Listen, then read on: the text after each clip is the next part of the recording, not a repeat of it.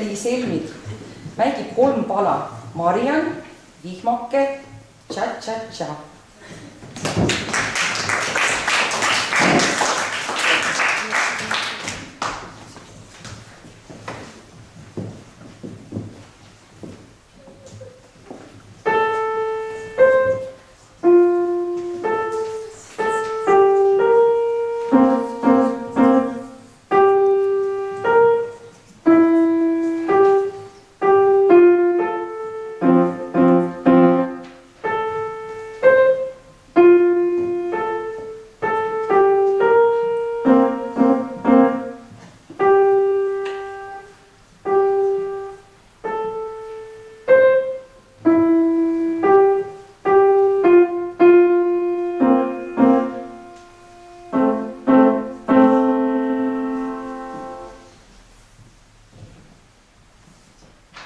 Thank you.